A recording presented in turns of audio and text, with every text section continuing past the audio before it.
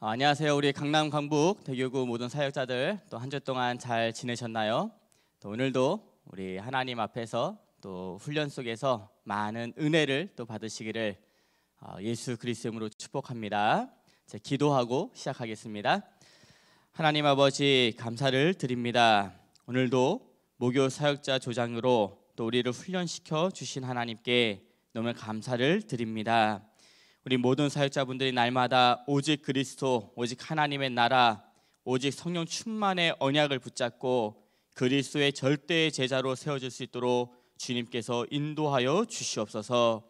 또 오늘 함께 말씀 나눌 때 우리 안에 삶 오늘의 중요한 이유들이 발견되게 도와 주시옵시고 오늘부터 오늘의 말씀과 기도와 전도를 붙잡고 살아계신 하나님의 역사를 현장에서 확인하는 우리 귀한 사역자들 될 수 있도록 주님께서 축복하여 주시옵소서.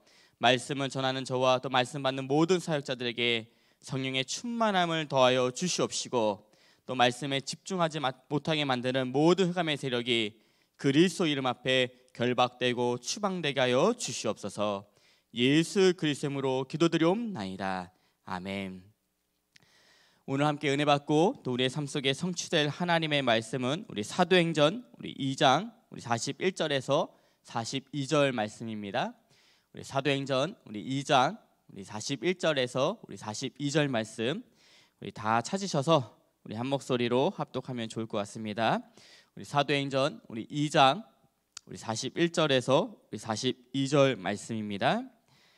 함께 우리 합독하도록 하겠습니다. 그 말을 받은 사람들은 세례를 받음에 이날의 신도의 수가 3천이나 더하더라. 그들이 사도의 가르침을 받아 서로 교제하고 떡을 떼며 오로지 기도하기를 힘쓰니라. 아멘.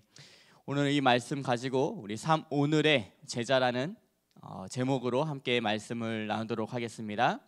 어, 우리가 계속해서 지금 말씀을 보고 있는 것이 우리 현장에서 어, 사명자를 찾았을 때, 또 현장에서 예비된 제자를 찾았을 때 그 사명자를 사역자로 또 그 예비된 제자를 또 그리스도의 절대 제자로 또 세울 수 있는 어, 말씀들을 하나씩 하나씩 나누고 있습니다.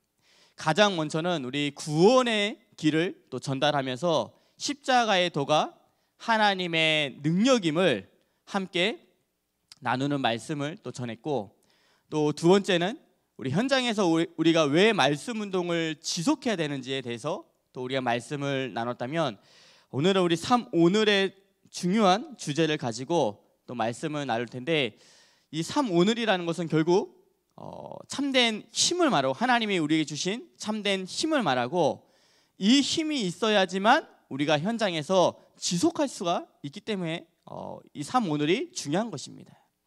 우리 귀한 모든 사역자분들이 오늘 3 오늘에 대한 말씀을 오늘 함께 나누면서 어, 중요한 하나님의 은혜를 받고 또 하나님 주시는 미션을 붙잡는 귀한 시간 되기를 예수 그리스도로 축복합니다.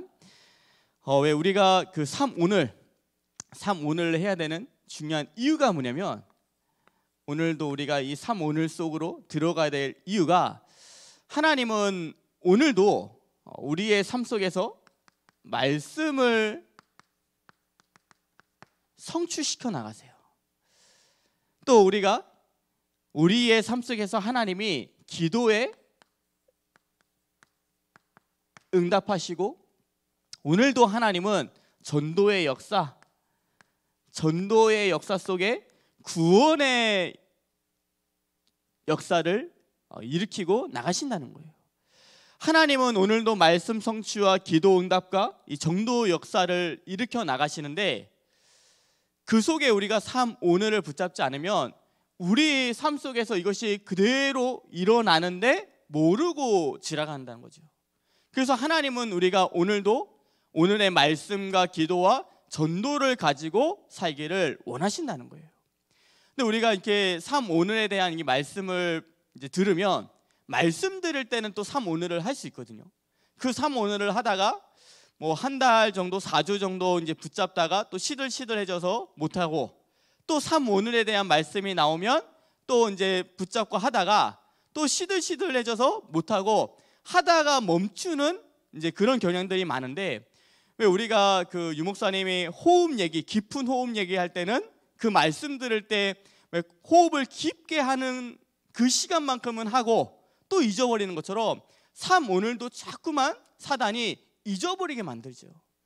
저도 이제 묵상하면서 왜 삶 오늘을 우리가 지속하지 못하느냐? 나는 그 부분을 가지고 묵상하면서 발견했던 것이 뭐냐면 우리가 삶 오늘 이전에 우리가 오늘의 말씀과 기도와 전도를 붙잡기 이전에 하나님이 무엇을 먼저 붙잡기 원하시면 언약 언약을 붙잡고 시작하기를 원하신대요. 그래서 다른 말로 말하면 삶 오늘 이전에 삶 오늘 이전에 이 언약을 붙잡고 시작하기를 원하신다는 거죠. 그래서 우리가 언약을 붙잡는 만큼 언약이 우리 안에 각인되어지고 뿌리 내려지는 만큼 삶 오늘을 지속할 수 있어요.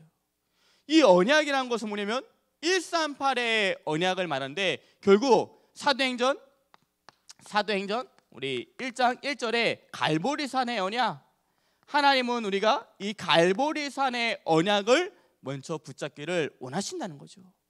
갈보리 산의 언약이 뭐냐면 어, 요한복음 19장 30절에 다 예수님께서 십자가 지실 때 다 이루었다라고 말씀하신 것처럼 우리가 예수님이 예수님이 그리스도심을 고백하는 것이 갈보리 산의 언약이죠. 예수님이 그리스도란 것이 뭐냐면 요한복음 14장 6절에 내가 곧 길이요 진리요 생명이니 나로 말미암지 않고는 아버지께로 올 자가 없느냐 말한 것처럼 아 예수님이 하나님 만나는 참 선지자가 되시는구나 하는 것을 고백하는 것이고요. 또 로마서 8장 2절 말씀에 그리스도 예수 안에 있는 생명의 성령의 법이 죄와 사망의 법에서 너를 해방했다고 말씀하신 것처럼 참 제사장 되신 그리스도가 우리의 모든 죄와 사망의 법에서 우리를 해방시켜 주셨다는 것을 고백하는 것을 말하고요. 또 요한일서 요한일서 3장 8절 말씀에 하나님의 아들이 나타난 것은 마귀의 일을 멸하러 하신다는 것을 말한 것처럼 참 왕되신 그리스도가 사단의 머리를 완전히 박살냈다는 것을 고백하는 그 믿음의 고백을 말씀하고 있는 거죠. 우리가 이 예수가 날마다 나의 그리스도심을 고백하고 그 그리스도가 나의 인생의 주인임을 날마다 고백하기를 원하신다는 거예요. 우리가 예수가 나의 그리스도 되시고 그 그리스도가 나의 인생의 주인 될 때 하나님이 예수님이 우리에게 주신 축복이 있죠. 그 축복이 뭐냐면 내 반석 위에 우리가 이것을 고백하는 그 반석 위에 교회를 세우신다고 말씀하셨고 음부의 건세가 음부의 건세가 이기지 못한다고 말씀하셨고 우리에게 천국 열쇠를 주셨다고 말씀하셨는데 이 천국 열쇠가 기도인데 네가 하늘에서 땅에서 매면 하늘에서도 맬 것이고 땅에서 풀면 하늘에서도 풀린다고 말한 것처럼 우리가 하나님 앞에 기도할 때 하늘의 건세가 땅의 건세가 일어나는 것을 말하죠. 우리에게 영적 주도권을 주신 것을 말해요. 하나님은 우리가 삶 오늘 이전에 이 갈보리 산의 언약을 우리가 붙잡기 원하시고요. 또 어떤 언약을 붙잡고 시작하기 원하시면 사도행전 우리 1장 3절 말씀에 감남산의 언약 이 감남산의 언약을 붙잡고 시작하기 원하시죠. 감남산의 언약이 뭐냐면 부활하신 예수님께서 제자들과 40일 동안 함께 있으시면서 한 제자 한 제자에게 미션을 주신 언약을 말하죠. 그래서 이 미션을 마태라는 제자는요. 마태복음 우리 28장 18절에서 20절에 보면요. 모든 족속으로 모든 민족으로서 제자를 삼으라는 이 미션으로 붙잡게 되었고요. 또 마가라는 제자는 마가복음 16장 15절에서 20절에 만민에게 가서 복음을 전파라고 말씀해서 모든 사람들을 한 명씩 한 명씩 복음으로 치유하라는 미션을 붙잡게 되었고요. 또 요한이라는 요한이라는 제자는 요한복음 21장 15절에서 18절 말씀에 내 어린 양을 먹이라고 말한 것처럼 이 어린 양에는 뭐 새 가족도 되고 될 수도 있는데 그 어린 양을 먹이라는 그 미션을 붙잡게 되었고요. 또 사도행전에 누가라는 제자는요. 사도행전 우리 1장 8절에 땅 끝까지 이르러 내 증인이 되리라는 이 미션을 붙잡게 되었죠. 우리의 마음속에 모든 민족으로서 제자 삼어라. 또 만민에게 복음 전파하고 그 사람들을 복음으로 치유해라. 내 어린 양을 먹여라. 땅 끝까지로 증인이 되리라는 이 언약이 우리 안에 들어 있는 만큼 삶 오늘을 붙잡을 수 있다는 거예요. 근데 사단은요. 이 이 언약을 감남산의 언약을 우리 마음 속에 잊지 못하도록 자꾸만 세상의 것을 갖다 주거든요. 그래서 제자 삼는 모든 민주 가서 제자 삼는 것이 더 좋은 것이 아니라 뭐 백화점 가서 쇼핑하는 것이 더 좋고요. 또 많은 사람들을 복음으로 치유하는 것보다 내가 어, 친한 사람들하고 노는 것이 더 좋고요. 그런 것처럼 세상의 기준과 세상의 기쁨을 갖다 주면서 감남산의 언약을 뺏어가려고 하거든요. 우리 귀한 모든 사역자분들이 이 감남산의 언약을 붙잡고 정말 삶 오늘 속에 도전하시기를 예수 그리스도로 축복합니다. 그러면서 우리가 어떤 언약을 또 붙잡기 원하시면 사도행전 1장 8절 말씀에 마가다라빵의 언약이죠. 이 마가다라빵의 우리 언약은 결국 마가다라 빵의 언약이라는 것은 성령의 충만함을 우리에게 성령의 충만함을 주시겠다는 언약과 그 성령의 충만함이 우리에게 임할 때 땅 끝까지 증인되는, 증인된다는 말처럼 세계보고마의 세계보고마의 언약을 우리에게 주신 것을 말해요. 하나님은 우리가 성령의 충만함을 받기를 원하시죠. 근데 이 성령 충만의 기준이 뭐냐면 왜 우리가 막 갑자기 좋은 일이 생기거나 또 기분이 나빴다가 기분이 좋아지거나 또 안 됐던 일들이 잘 해결되는 것이 성령의 충만함이 아니라 우리가 오늘도 예배와 훈련 속에서 하나님 중심, 하나님 중심으로 또 말씀 중심으로 그리스도 중심으로 우리의 마음이 바뀌어지는 것이 성령의 충만함이거든요.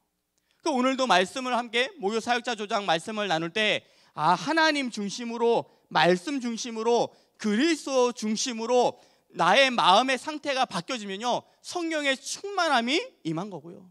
그 성령의 충만함이 임할 때요. 하나님은 반드시 사도행전 2장에 약속하셨던 것처럼 전도의 문을 15개 나라의 문이 열렸던 것처럼 전도의 문이 열리고요.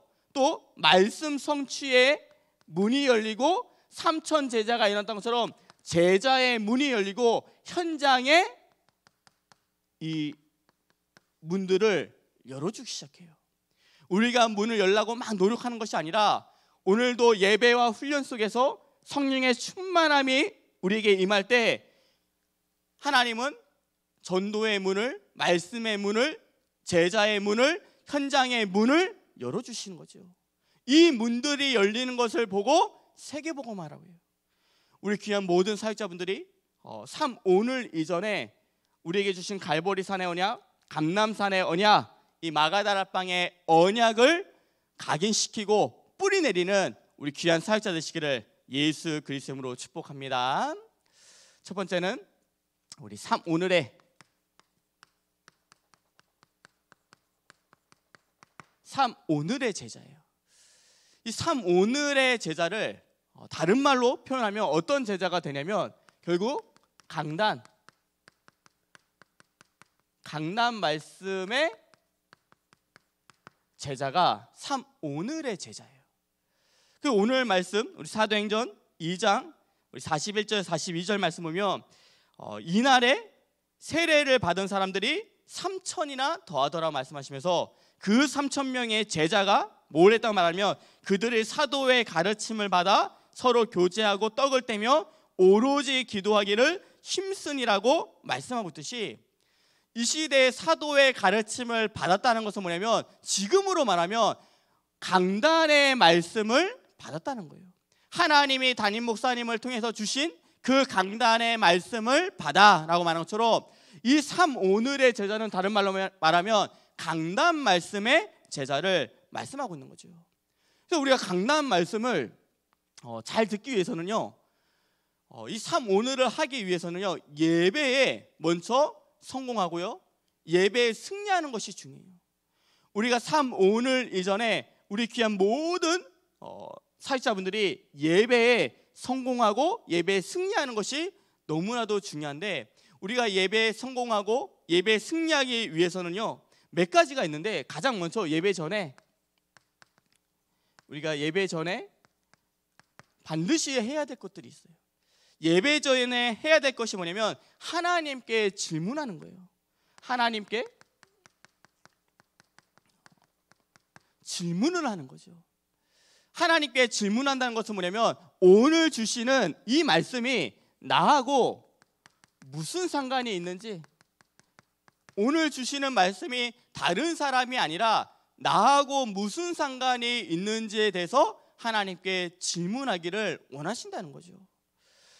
우리 욥기 욥기 42장 우리 4절에서 우리 5절 말씀을 보면 아, 욥이 고백하는 것이 뭐냐면 어, 내가 말하겠사오니 주는 들으시고 내가 주께 묻겠사오니 주여 내게 알게 하소서라고 하나님께 질문하기 시작하죠. 내가 주께 묻겠사오니 내게 알게 해달라고. 근데 이 말씀을 하고 나서 이 욥이 받았던 응답이 뭐냐면 그 전에는 하나님을 귀로만 들었는데 하나님을 귀로만 들었는데 이제는 하나님을 눈으로 눈으로 본다고 말씀하고 있는 거죠.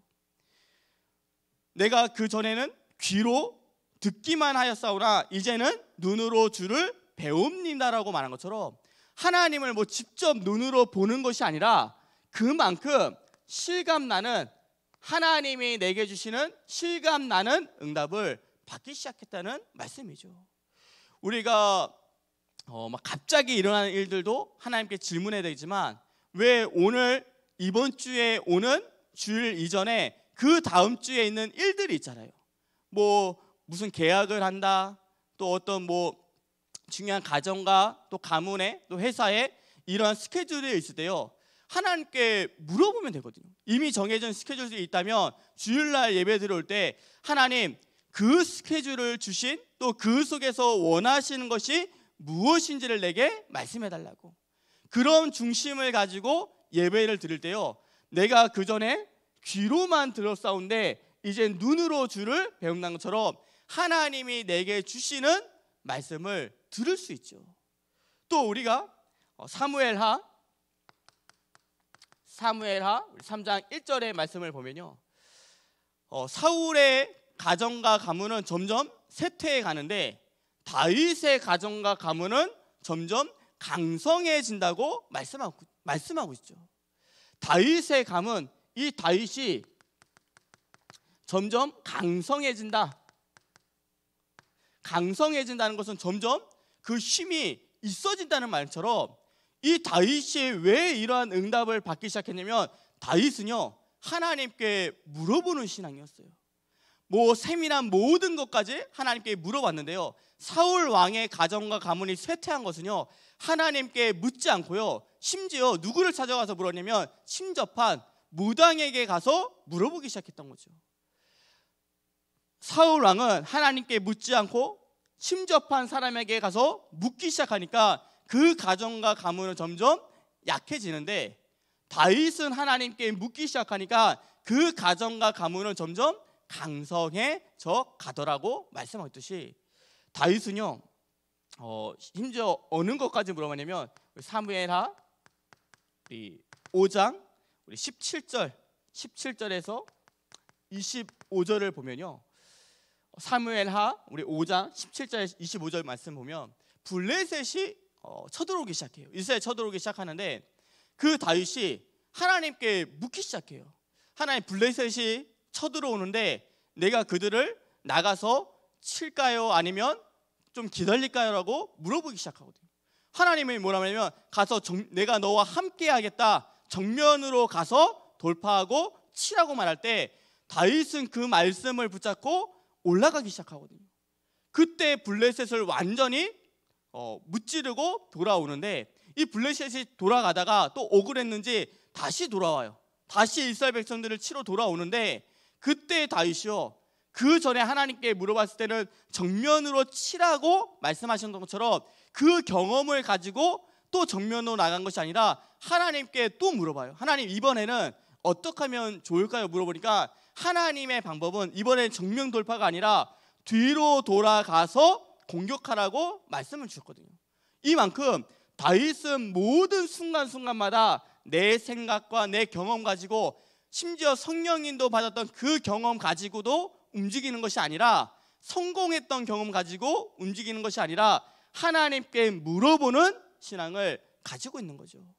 그러니까 다윗의 가정과 가문이 점점 강성해져 간다고 말씀하고 있어요. 우리 귀한 모든 사역자분들이 예배 전에 하나님께 질문하고 그 말씀이 나오고 무슨 상관이 있는지를 날마다 질문하시기를 예수 그리스도로 축복합니다.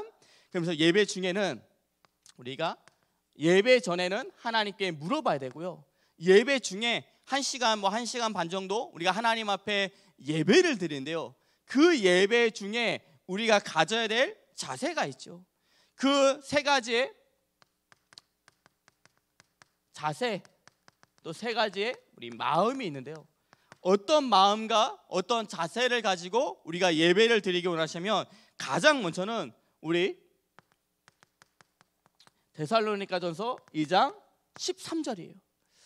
데살로니가전서 2장 13절에 보면 이 데살로니가의 제자들이요 바울이 말씀을 전하고 디모데가 말씀을 전할 때요 사람의 말로 듣지 않고 사람의 말로 사람의 말로 듣지 않고 어떤 말로 듣냐면 하나님의 말씀으로 들었다고.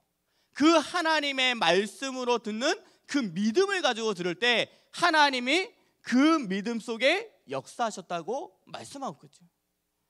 우리가 예배 중에 담임 목사님이 말씀을 전하시지만 그게 담임 목사님이 말씀을 전하시는 것이 아니라 하나님이 담임 목사님을 통해서 이 교회에 주시는 말씀이고 또 나에게 주시는 말씀으로 듣기를 원하신다는 거예요. 하나님은 그 믿음 속에 반드시 역사하신다는 말씀이거든요. 우리가 이런 것처럼 사람의 말로 듣는 것이 아니라 하나님의 말씀으로 듣기를 원하시고요. 또 어떤 자세를 갖기 원하시면 고린도후서 1장 20절 말씀에 하나님의 말씀은 언제든지 얼마든지 그리스도 안에서 예가 된다고 말합니다. 이 예가 된다는 것은 뭐냐면 예를 들면 이런 예가 아니고요. yes가 된다는 얘기예요. 하나님의 말씀은요. 언제든지요. yes가 된다. 언제든지 yes가 되기 때문에 우리가 하나님의 말씀을 들을 때 아멘 하여서 하나님께 영광 돌리는 그 자세를 가지길 원하세요. 우리가 말씀 들을 때 아, 이게 안 될 것 같은데도 하나님이 반드시 말씀을 주시면요. yes로 바뀌어요. 우리는 우리의 마음 상태가 환경은 no지만 하나님이 우리에게 말씀을 때 우리 마음속에 평안함이 왔다. 그 말씀은 그리스도 안에서 얼마든지 yes가 된다는 것이기 때문에 그 말씀 속에 우리가 아멘 하면요. 하나님께서 영광을 받으시고 그 말씀이 어, 우리 삶 속에 역사하기 시작하죠. 하나님 이런 것처럼 하나님 말씀을 말할 때 no가 아니라 우리 마음 속에 yes라는 마음을 가지고 아멘하기를 원하시는 거죠. 또 우리가 어떠한 자세와 마음을 갖기 원하시면 어, 저는 이제 말씀을 받을 때 계속 하는 것이 뭐냐면 깊은 좀 호흡을 하면서요. 말씀을 받을 때 이 호흡을 하면서 기도하는 게 뭐냐면 하나님 내게 성령의 충만함을 달라고 들이마시면서 하나님 내게 성령의 충만함을 달라고 기도하면서 또 내뱉으면서 하나님 지금 이 시간 말씀 듣지 못하도록 방해하는 모든 흑암의 건세가 완전히 결박받고 떠나가 달라고. 그래서 성령의 충만함을 달라고 어, 들이마시면서 또 내뱉으면서 흑암의 건세가 결박되도록 이걸 놓고서 계속 호흡하면서 말씀을 듣거든요. 왜냐하면 우리가 사람인지라 어, 영적인 존재이기 때문에 자꾸만 사단이요 와가지고 귀신들이 와서 순간순간 이 생각 속에 마음 속에 집을.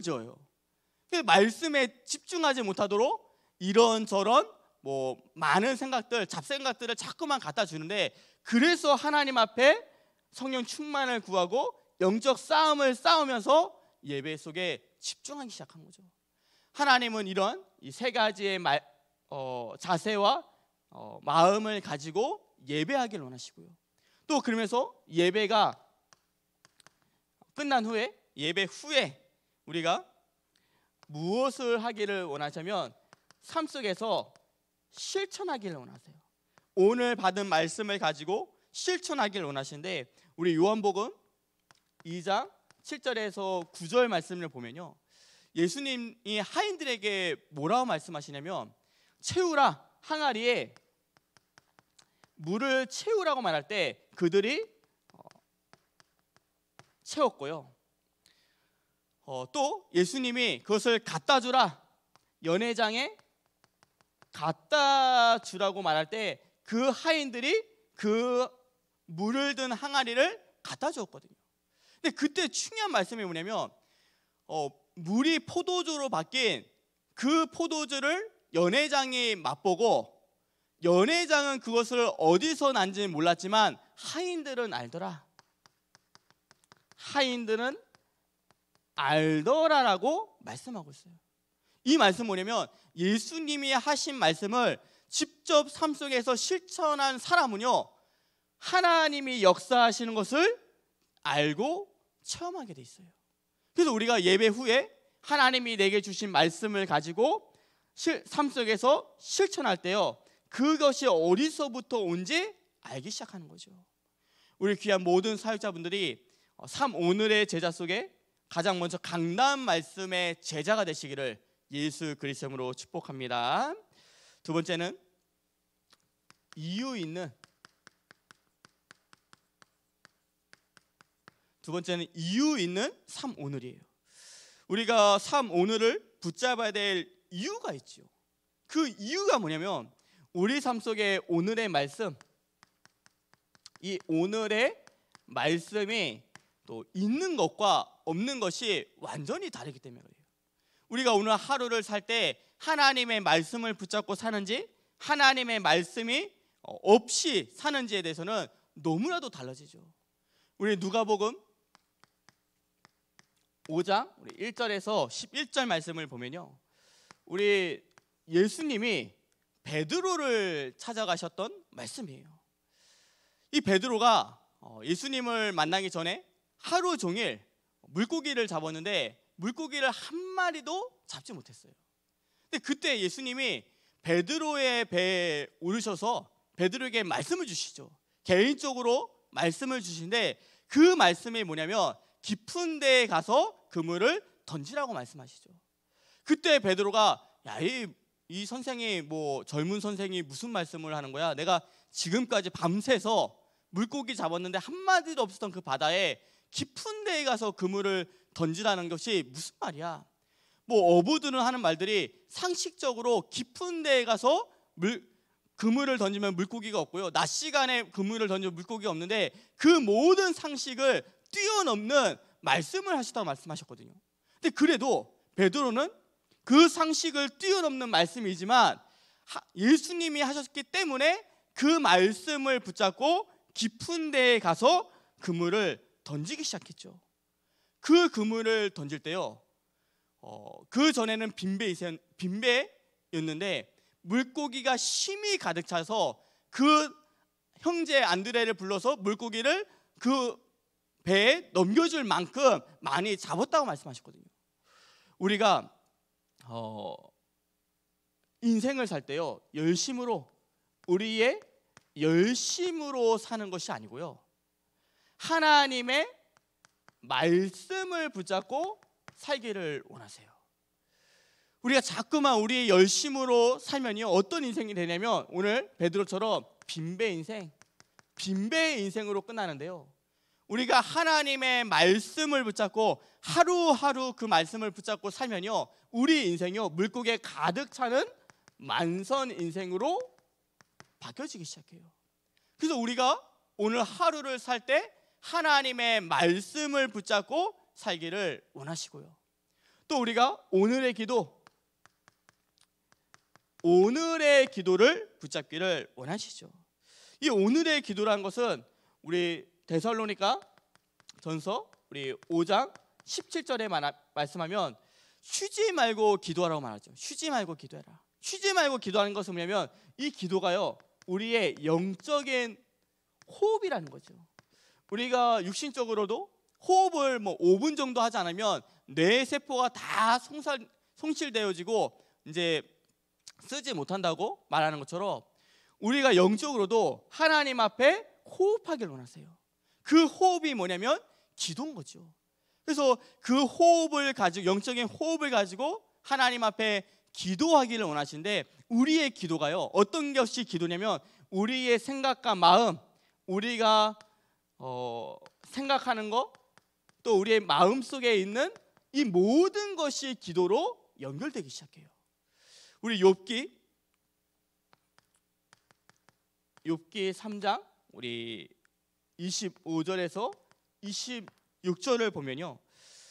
어, 욥이 했던 얘기가 뭐냐면 내가 두려워하는 그것이 내게 임하고 내가 무서워하는 것이 내 몸에 미쳤다고 말씀하고 있거든요.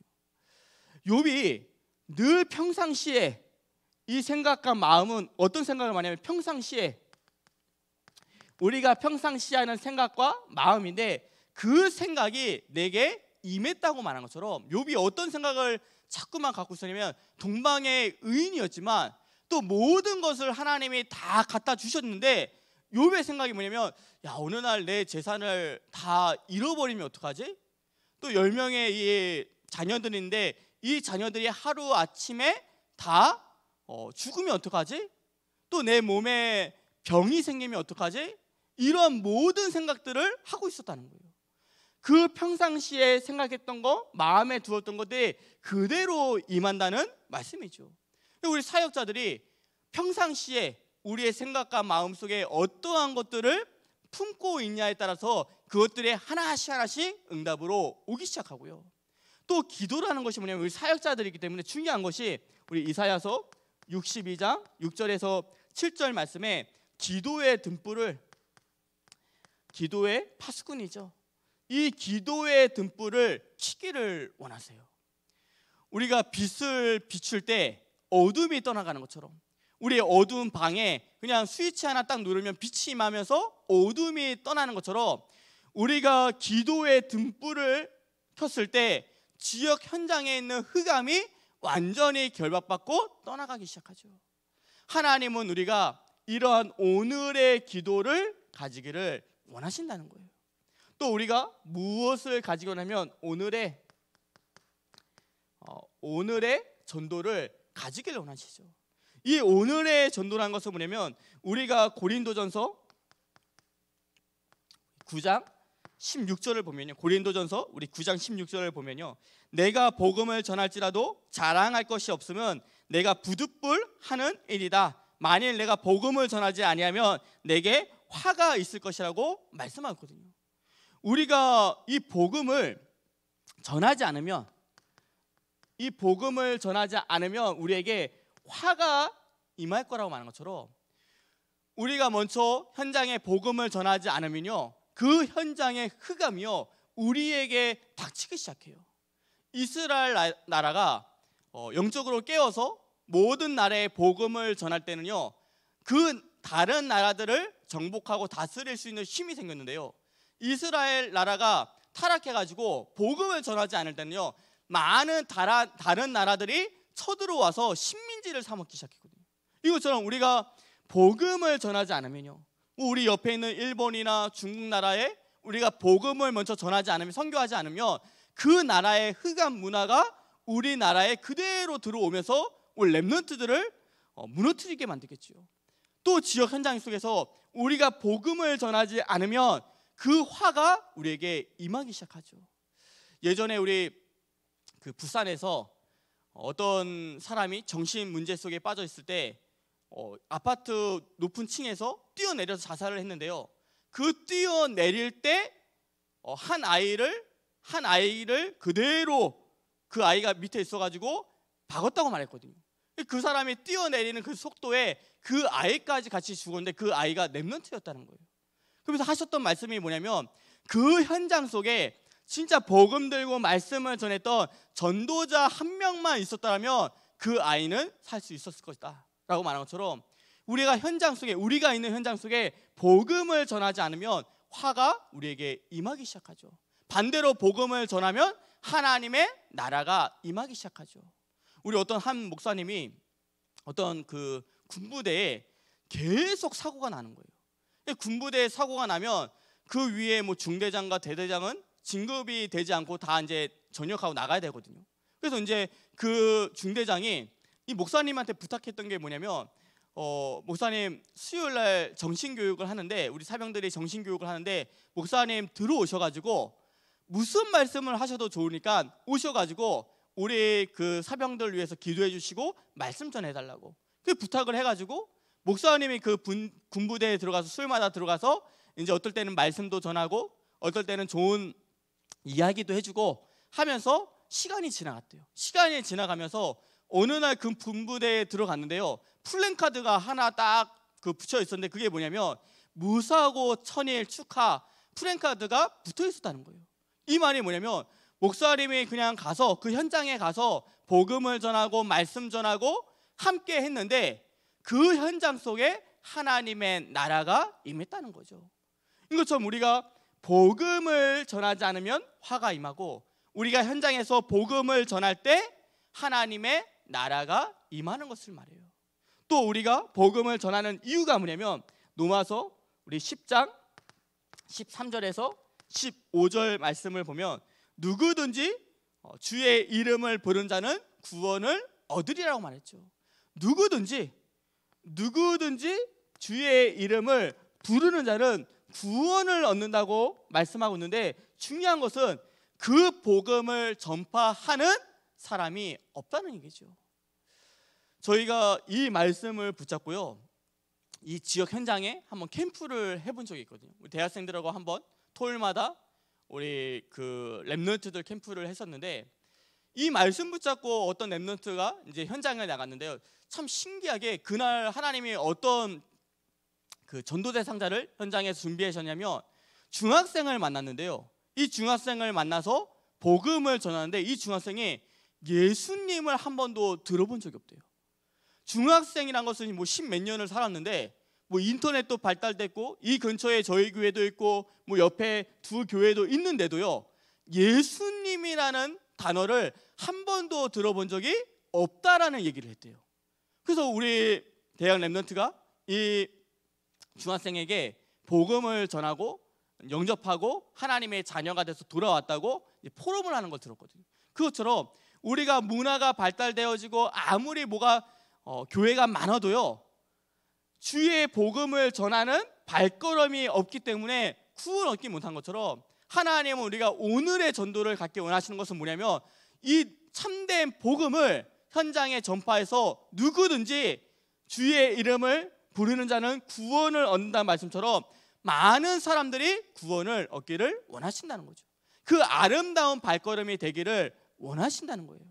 또 우리가 오늘의 전도를 하는 이유가 뭐냐면 디모데전서 2장 4절 말씀에 하나님이 원하시는 거 가장 하나님이 원하시는 것이 뭐냐면 모든 사람이 구원을 얻고 진리를 알기를 원하신다 말거든요. 하나님의 소원이요. 결국 하나님의 소원이 모든 사람들이 구원받기를 원하신다는 거죠. 우리 귀한 모든 사역자분들이 이유 있는 사모늘 속에 왜 우리가 오늘의 말씀을 붙잡고 살고 오늘의 기도 속에 있고 오늘의 전도 속에 있는지에 대한 그 이유를 붙잡고 오늘부터 또3 오늘 속에 도전하시기를 예수 그리스도로 축복합니다. 세 번째는 우리 3 오늘의 실천이에요. 우리가 3 오늘을 언제 하냐가 중요하죠. 언제 이3 오늘을 하냐. 이거는 뭐 사람마다 사역자마다 또 시간표마다 다 다르죠. 어, 저는 지금은 예전에는 이제 대학 사역을 할 때는 3 오늘을 월요일 아침에 했어요. 왜냐면 이제 그때는 사역이 막 8시, 9시에 끝나 가지고요.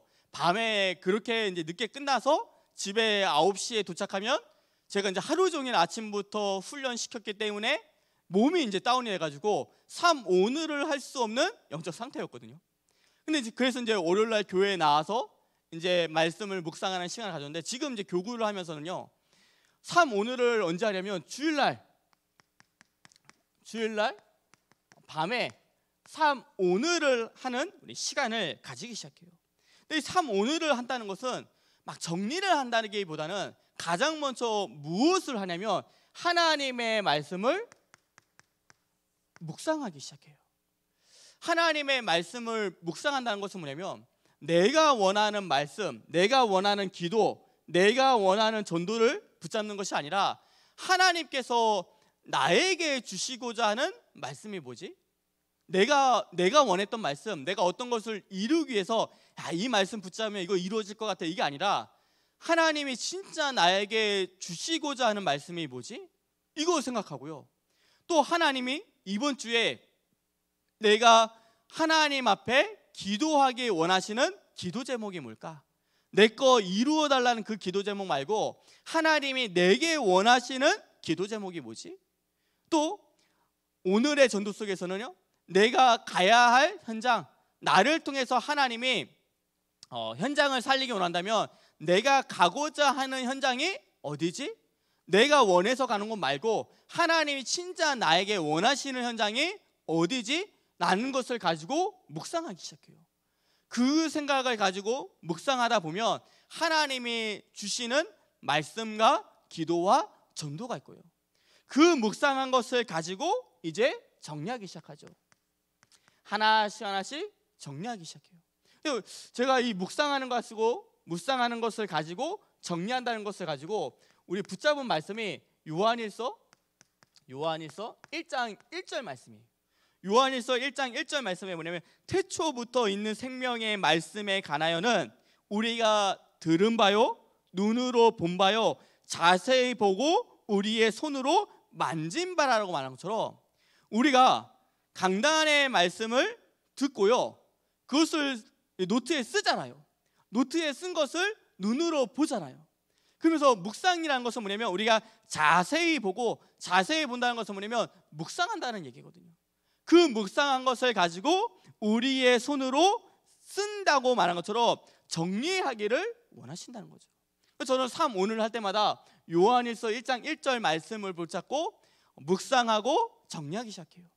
그러면서 우리가 이3 오늘을 이제 어떻게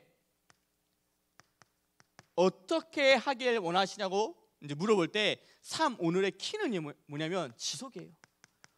아까 말한 것처럼 어 아, 한번 시작해 볼까라고 하다가 그게 이제 뭐 2주 가고 4주 가고 뭐 길게 간 사람들은 6개월까지 갔는데도 신기하게 또 예전으로 돌아가거든요. 우리가 3 오늘의 키는요. 지속하자. 예수님이 이 땅에 다시 오실 그날까지 재림하실 그날까지 우리가 삶 오늘을 지속하기를 원하신다는 거예요. 지속하기 위해서는요. 말씀 오늘의 이 말씀을 너무 막 길게 붙잡는 것이 아니로 아니라 간단하게 붙잡기를 원하신다는 거예요. 하나님이 내게 주신 말씀 중에 성구 중에 하나 내지 두 개를 붙잡는 거죠.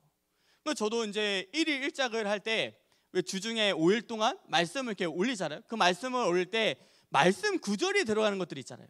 그 말씀 구절은 제가 붙잡은 말씀이거든요. 그래서 뭐 어떤 주는 많게는 세 개 정도 되고 어떨 때는 뭐 한두 개 붙잡고 그 말씀을 붙잡고 일주일을 사기 시작하고요. 그 다음에 오늘의 기도 속에서는요. 어떤 기도 제목보다 더 중요한 것이 뭐냐면 기도문을 작성하는 게 중요해요. 우리가 어떤 기도 제목을 붙잡고 간단하게 쓰는 것보다 하나님 앞에 하나님 아버지 어, 이런 말씀을 붙잡고 이렇게 기도합니다 라면서 기도문을 예수 그리스도의 이름으로 기도합니다 하면서 기도문을 작성하는 것이 더 중요하고요. 또 오늘의 전도 오늘의 전도 속에서는 이번 주에 만날 사람들 만남들을 놓고 기도하고 또 저는 이제 현장에서 뭐 다락방이나 지교회 이런 말씀 운동들을 놓고서도 그 속에서 만날 사람들을 놓고서도 기도하거든요. 이러한 전도 대상자들과 말씀 운동을 놓고서 기도하기 시작하고요. 또 무엇을 하기 시작하냐면 주간 스케줄 주간 스케줄 내가 일주일 동안 어떤 삶을 살지 하면서 반드시 하는 것이 무엇이냐면 내가 말씀 속에서 해야 할 것, 말씀 속에서 해야 할 것과 하지 말아야 될 것, 하지 말아야 될 것을 구별해서 정리하기 시작해요. 우리가 하나님의 말씀을 들을 때요, 뭐 해야 할 것도 듣지만 하지 말라는 것도 들릴 수 있거든요. 그처럼 말씀 속에서 내가 해야 할 것과 하지 말아야 될 것을 구별하면서 적으면서 그 속에서 신기하게 이것을 적기 시작하면 내 삶이 어, 복음으로 치유되기 시작해요. 우리가 왜 이런 실천을 하냐면요. 우리 야고보서 야고보서 우리 2장 17절의 말씀을 보면요. 행함이 없는 믿음은 그 자체가 죽은 것이라 말하는 것처럼 우리가 복음을 붙잡고 또 믿음을 가지고 말씀 들었지만 행함이 없으면요 하나님의 역사를 체험하지 못해요. 행함이 없다고 해서 구원 못 받는 것이 아니라 하나님의 말씀을 붙잡고 우리가 실천할 때 그 속에서 하나님의 역사를 눈으로 확인할 수 있는 거죠. 하나님은 우리가 이러한 중요한 실천을 하기 원하시고 그러면서 중요한 것이 뭐냐면 반드시 반드시 확인하기를 원하시는 거였어요. 많은 사람들은 또 묵상도 하고 정리도 잘하면서 이런 부분까지도 잘 따라오는데 이 세 번째를 안 하시는 분들이 많아요. 무엇을 확인하기 원하시면 나의 삶 속에서 하나님이 일주일의 삶 속에서 어떤 말씀, 어떤 말씀을 성취시켰고 내가 붙잡은 말씀 속에 어떤 말씀을 성취시켰고 또 내가 하나님 앞에 기도했던 것 속에 무엇을 응답해 주셨고 그 응답이란 것은 뭐냐면 내가 받은 것만 응답이 아니라 응답은 yes와 또 no와 wait로 오기 때문에 어떤 것은 응답해 주시고 어떤 것은 응답 안 해 주셔서 감사하고 어떤 것은 하나님이 기다리신다는 것을 보는 것을 말하거든요. 또 그러면서 나의 삶 속에서 전도의 역사 하나님께서 어떠한 사람을 만나서 아 이 사람에게 복음을 전하도록 하게 하시는구나는 그런 전도의 역사를 확인하기를 원하셔요. 그래서 저는 이 확인을 토요일 날 토요일 날 밤에 낮부터 밤까지 이 확인하는 작업을 하기 시작하거든요. 그래서 주일 밤에는 하나님의 말씀을 묵상하고 토요일 밤에는 하나님이 내게 주신 많은 것들을 확인하면서 주일날 와서 또 말씀을 듣죠.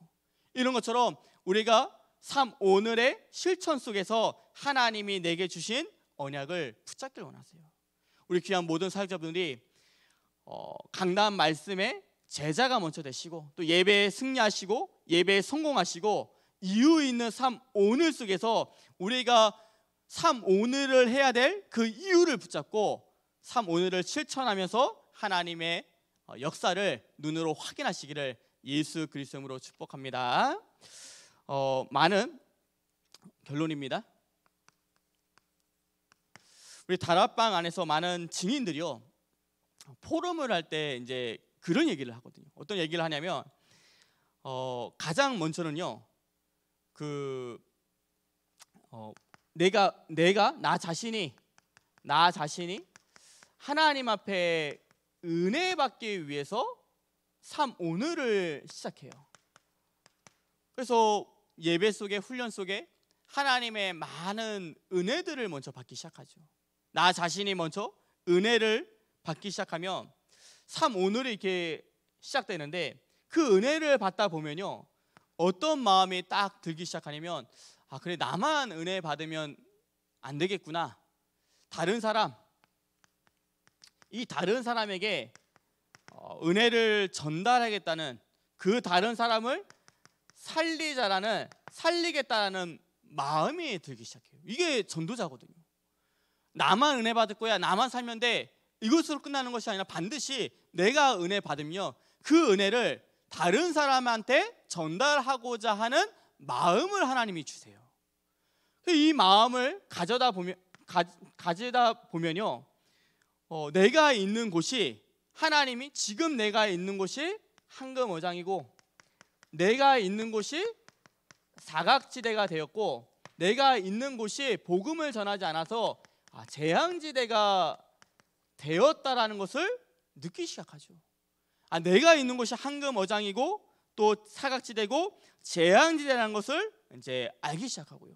그때부터 기도하는 것이 뭐냐면 하나님 이 황금어장인데 원래 황금어장인데 사각지대 되고 재앙지대가 이곳에 한 전도할 문을 전도할 문을 열어달라고 기도하기 시작해요.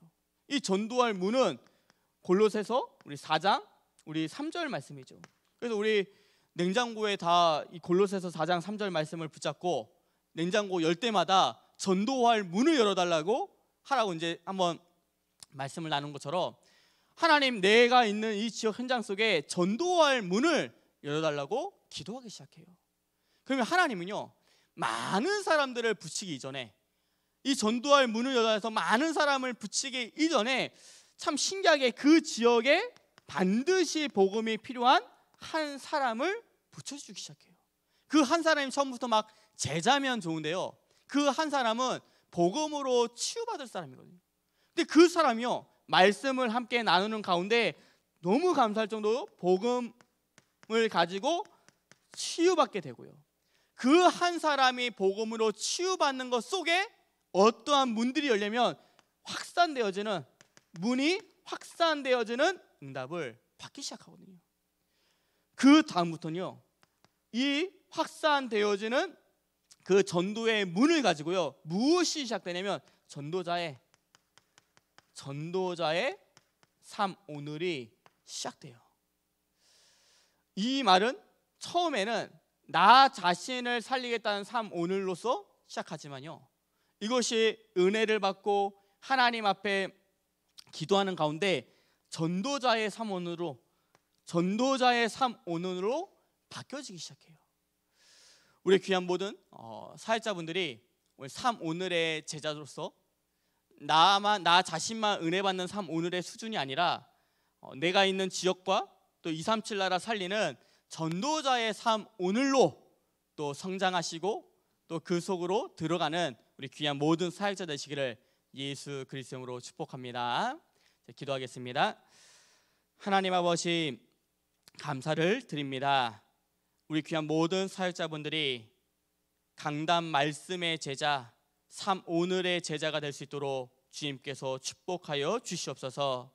우리가 오늘도 오늘의 말씀과 기도와 전도를 붙잡아야 될 이유를 붙잡게 하여 주시옵시고 그 속에서 하나님의 말씀과 기도와 전도를 묵상하는 가운데 하나님께서 우리에게 주시고자 하는 말씀과 기도와 전도를 붙잡고 현장에서 승리하게 하여 주시옵소서.